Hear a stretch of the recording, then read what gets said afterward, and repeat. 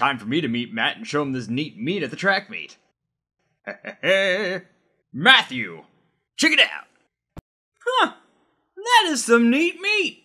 Makes me want to completely compete with an elite athlete discreetly. It is odd that I've been staring so long at it. Convenient for the viewers at home, but odd. Take a bite.